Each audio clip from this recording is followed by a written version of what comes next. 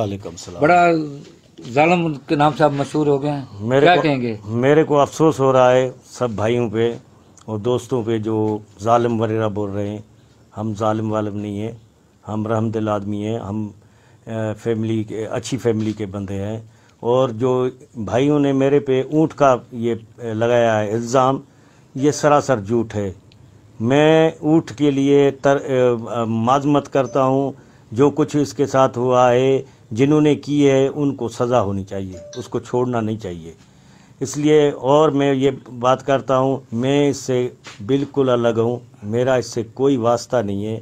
نہ میں نے اس کو کبھی دیکھا بھی ہے۔ میری زمین وہاں پہ جو ہے، وہ ٹھیکے پہ دی ہوئی ہے۔ تین سال سے جعفر نام، پنجابی کے نام اس کو دیے۔ لیکن جو جاوا کو ہے، جو جگہ ابھی دیکھی گئی ہے، ڈی سی صاحب نے ویریفائی کرائی ہے، مختار کار آیا ہے انہوں نے جو دیکھی ہے وہ بھی میری جگہ نہیں ہے۔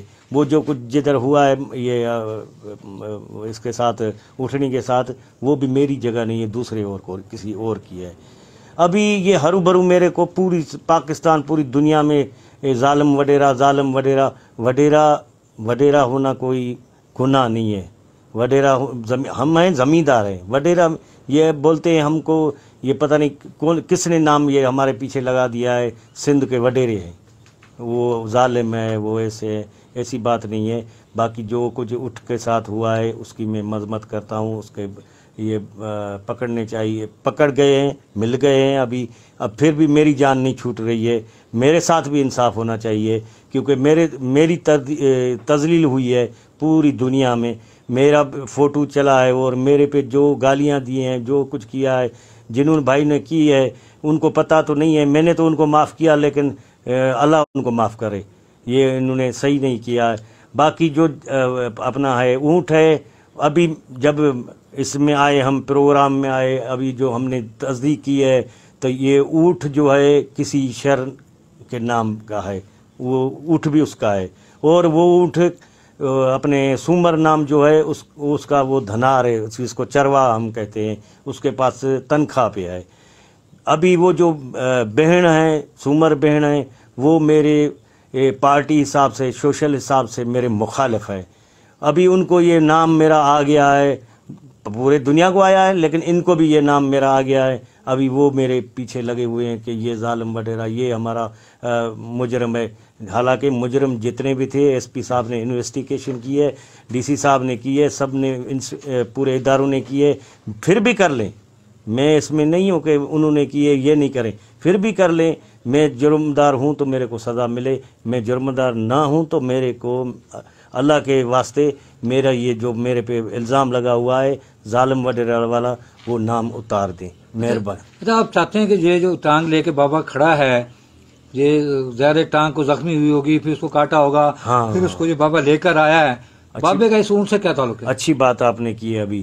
ابھی جب ہم نے یہ انویسٹیگیشن میں ابھی پتہ لگا ہے کہ یہ جب اونٹڑی ادھر پڑی تھی، میرے اپنے مکادار نے، ٹھیکیدار نے میرے کو فون کیا کہ بھائی، جو میری دوسری زمین ہے، دوسرے شہر کی قرار کے نام کے سے، اس کے سا- اس میں اٹھڑی پڑی ہے اور وہ اٹھڑی زخمی ہے۔